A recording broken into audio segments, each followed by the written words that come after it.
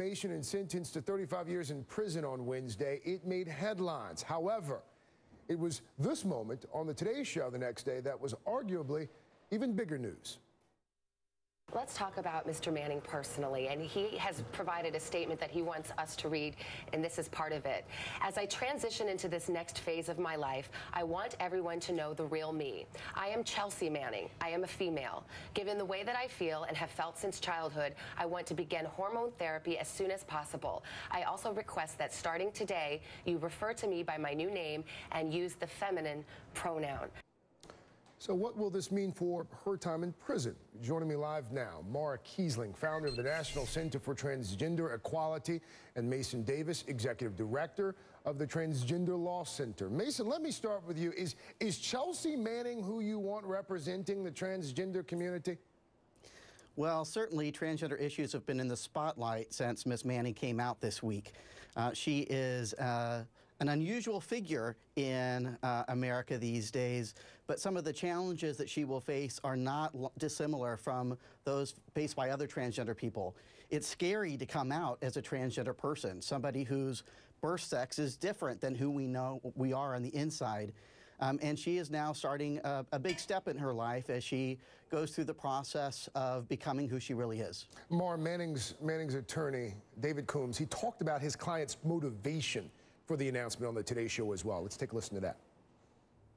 Is the ultimate goal here for her, him, to be in a female population, a female prison? No, I think the ultimate goal is to be comfortable in her skin and to be the person that she's never had an opportunity to be. What does the timing of, of this announcement mean for Manning's safety heading into prison, Mara?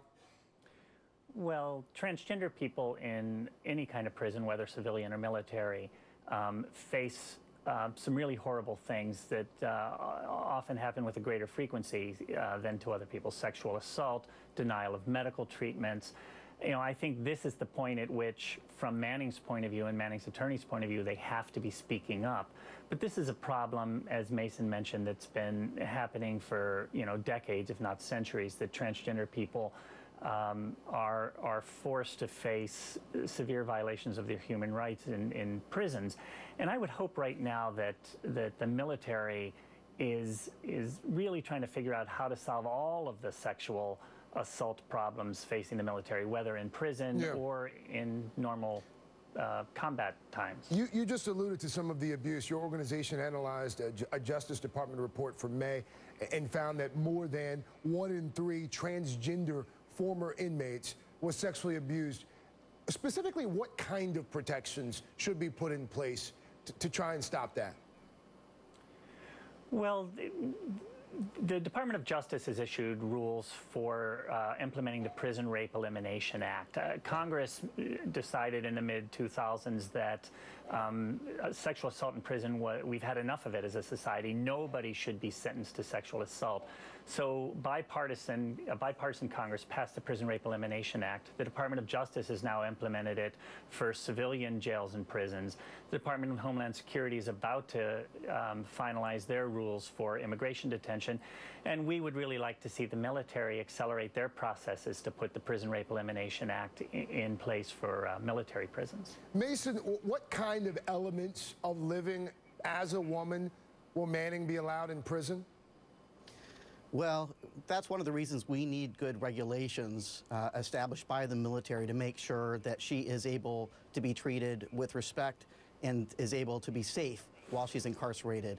Uh, we know that the courts have a legal obligation to provide uh, adequate medical care to all prisoners, including transgender prisoners, given the widespread medical agreement that transition-related care for transgender people is medically necessary, we are certainly eager to see her get the care that she needs while she's incarcerated. You mentioned medical care. Gender identity disorder is an accepted psychiatric condition treated with hormone replacement therapy and in some cases, uh, sex changes as well. But in Manning's case, the Army has said it does not and will not provide the hormone replacement therapy that Manning has requested. Are there grounds, potential grounds for litigation here, Masen? Yeah, we don't think this is the last word on this subject. Courts have consistently ruled that uh, prisoners have to have access to care. This includes transgender prisoners.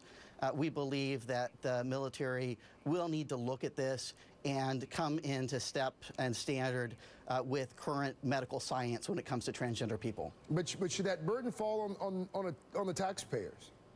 Well, we have the Eighth Amendment that says that transgender people, all people in prison, have to have access to good medical care. Um, this is a settled court, a settled issue in the courts, um, and we need to make sure that we take responsibility for the people we're incarcerating. Mara Keisling, Masen Davis, a big thanks to both of you. Appreciate that Thank you perspective. very much, Craig.